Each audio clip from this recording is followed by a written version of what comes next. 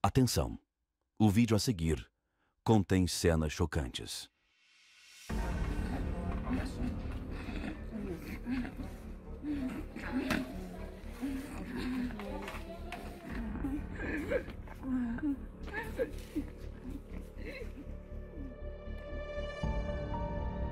Quando isso aconteceu, eu já estava na presença de Deus.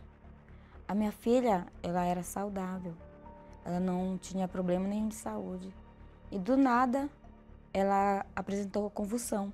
Eu me assustei com aquilo, porque até então era uma coisa nova. Eu nunca tinha passado por situação igual com ninguém da família ou coisas parecidas, né? E de repente eu me deparo com essa situação com a minha filha.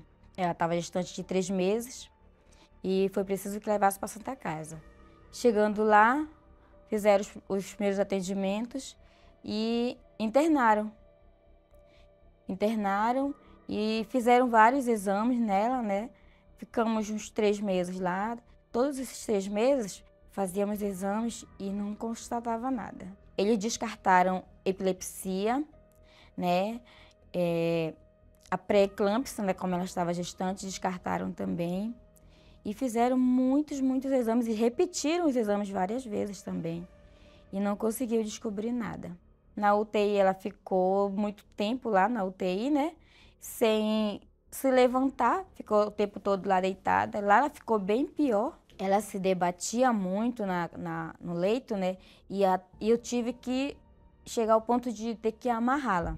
Nesse dia ela convulsionou tanto, tanto, que eles pegaram e levaram de novo ela para o HC. E aí nós chegamos lá, deram muito medicamento nela, muito, muito mesmo, que quando a gente voltou do HC, a língua dela ficou para fora, que ela não conseguia botar para dentro. De tanto remédio que tinham dado para ela, porque eles aplicavam o medicamento e não fazia efeito. Também tinham umas vezes que ela, quando ela dava crise, ela queria arrancar todo o cabelo dela. Ela puxava e eu segurava ela. A força de Delma não era suficiente. Como lutar contra um mal que não tem nome, nem solução? Parece que eu perdi o, o chão. Quando eu vi a minha filha naquela situação. Uma vez eu cheguei, ela estava amarrada. No outro dia eu cheguei, tinha dado água no pulmão dela. Então eles fizeram um furo, né, na costela. E quando eu cheguei, eu me deparei com um balde, um, alguma coisa, um, um vasilhame grande, que a metade era sangue e a metade era água. Isso me doía muito, muito, porque não é fácil você ver sua filha uma pessoa saudável, né? E de repente, naquela situação. E eu já conhecia o caminho, eu conhecia o altar. E eu fiz igual a Ana, eu fiz um voto com Deus. Eu fui em casa, eu falei, meu esposo, nós vamos fazer o voto no altar pela Silvia. Porque o caminho é esse.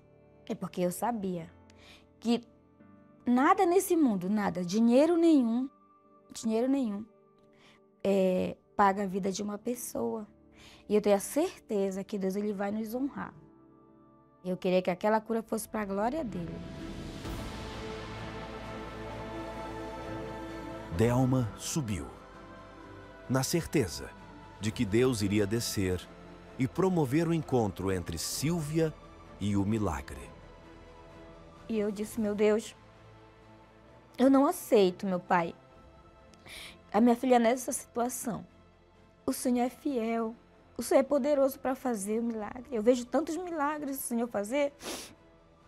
Então, o Senhor tem que mudar a situação da Silvia. E quando eu decidi voltar com essa certeza, né?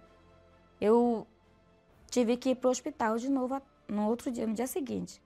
Cheguei lá, a médica me chamou e disse: Dona Delma, a senhora vai precisar fazer uma escolha. Aí ela olhou e disse: Olha, como a, a Silvia, a gente já fez tudo que nós podíamos pela Silvia. E eu eu vou lhe falar. A senhora vai precisar escolher entre a vida da sua filha e da sua neta. Eu fiquei impactada nesse momento. Eu fiquei em pé olhando para ela seriamente assim e falei: Meu Deus, como que eu vou escolher a vida entre a vida da minha filha e da minha neta? E eu tive que fazer uma escolha e eu fiz.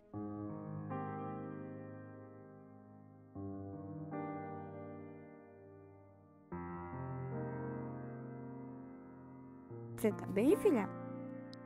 Você tá bem? Sim. Tá bom, então. Dá o cheiro aqui.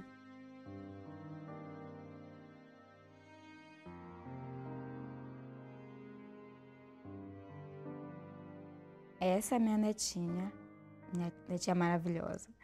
A minha filha, ela, não pensa que ela morreu, ela sobreviveu. O milagre aconteceu. E graças a Deus eu tô aqui. E nunca mais tive nada, nenhuma crise. Minha saúde tá ótima, da minha filha principalmente. E a decisão que eu tomei, que eu falei com a doutora lá, aconteceu. Que as duas iam viver.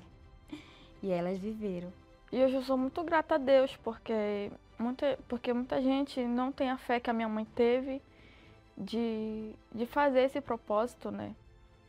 Porque eu não sei o que seria de mim se não fosse pelo Espírito Santo, pela minha mãe. E três dias depois que eu fiz o voto no altar, ela teve alta no hospital. E nós saímos de lá. E toda vez que nós, eles davam alta pra gente, quando ela estava passando mal, ela saía cadeira de rodas. Entendeu? E aí, nesse dia, ela saiu andando ela me ajudou a trazer as coisas, sorrindo. A primeira coisa que eu fiz foi levá-la à igreja e apresentar no altar, como Ana. E Deus honrou. E saber que, que quase que a minha mãe teve que escolher entre a minha vida e a vida da minha filha. Quando eu soube né, da história, porque eu não lembro de quase nada. Eu não lembro de quase nada. E quando eu soube da história, quando eu soube de tudo que aconteceu comigo, eu vi o quanto Deus me ama e, e vi que eu não era um caso perdido, né? E vi que, que Deus não tinha me abandonado. Que Deus não tinha me abandonado e Ele ainda, que ainda tinha chance para mim. Que tudo aquilo que eu fiz lá atrás tinha perdão, né? Eu ainda tinha chance de, de conhecer a Deus. E eu tinha tantos anos na igreja, sabe? Eu nunca fui firme, nunca levei a sério, sempre na brincadeira. E agora eu sei o que eu tinha perdido lá atrás. E se não fosse o Espírito Santo, eu não teria suportado. Eu não teria é, estrutura para passar tudo que eu passei. Eu tenho a certeza disso. Foi o Espírito Santo que me sustentou.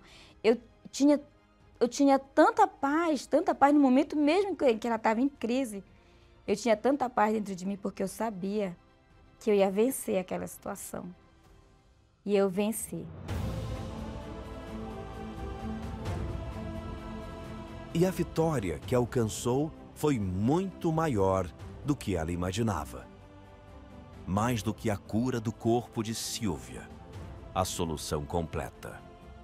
Nunca mais, nunca mais a minha filha apresentou nenhuma crise.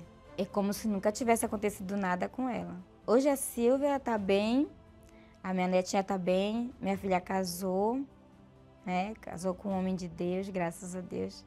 E tá aí para a glória de Deus. Hoje eu sei o que é ter paz, hoje eu sei o que é ter alegria de verdade, não que é alegria passageira. Depois disso eu aprendi o que é ter fé de verdade, o que é o que é a fogueira santa, né? Que é entregar o nosso tudo, nossa vida em prol do mais importante, que é o Espírito Santo. Deus não só salvou o meu corpo, mas salvou minha alma.